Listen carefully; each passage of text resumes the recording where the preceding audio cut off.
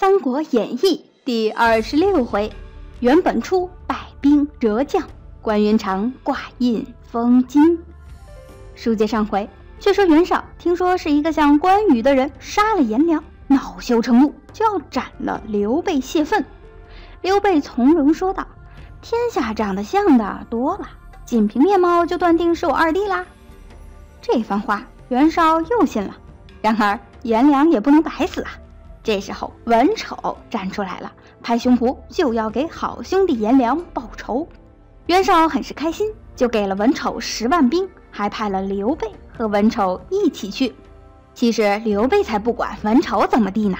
他一心只想找到自己的二弟关羽，而曹操那边也是设好了埋伏，让文丑钻。张辽、徐晃前后一通夹击，文丑再厉害也只能退避三舍。然后就在此时，关羽提刀飞马而来，赶上文丑，脑后一刀就将文丑也给斩下马来。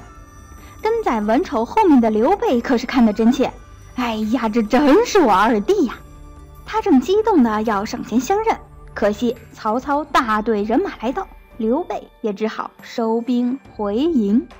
这回郭图、沈佩他们都看到了是关羽杀了文丑，刘备你也就没啥好说的了吧？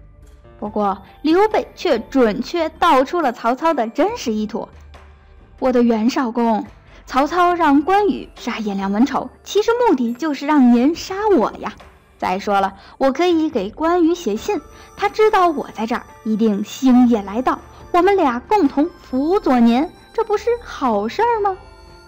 袁绍一拍脑门儿，对呀，我要是有了关羽，可胜过颜良、文丑十倍呀！说罢，连忙让刘备写信。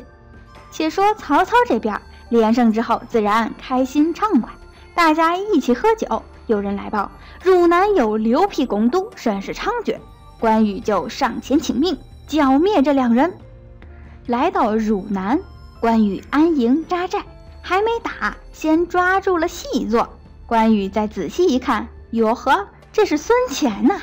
更让关羽激动的是，他从孙权那里听说，兄长刘备现在就在袁绍呢。关羽冷静下来，转念一想，自己杀了袁绍两员大将，这这这这怎么搞啊？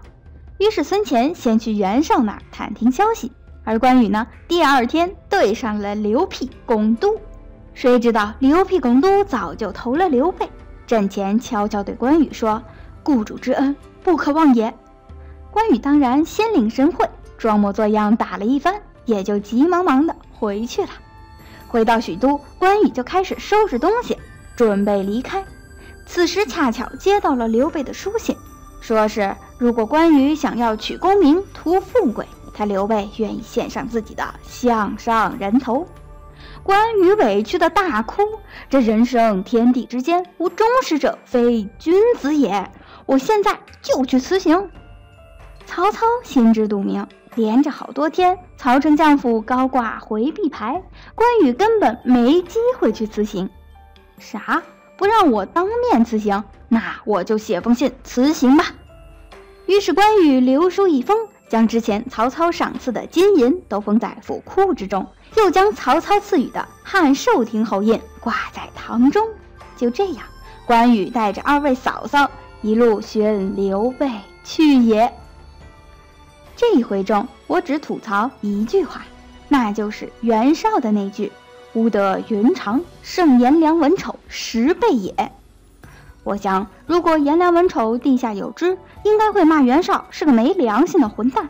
自己都战死了，袁绍竟然还去想得到关羽会如何如何，可见袁绍根本是把部下当成了使唤的工具，工具没了再换好的就是。反观曹操，死了典韦，他哭的是稀里哗啦，隔了一年又过御水，还特意前去祭奠。就算是心向刘备的关羽，曹操也是极力笼络。我想，袁绍和曹操之间的战争，在这样的对比之下，结局应该已经注定了。不过现在关羽还是走了，曹操又会有怎样的应对呢？咱们下回分解。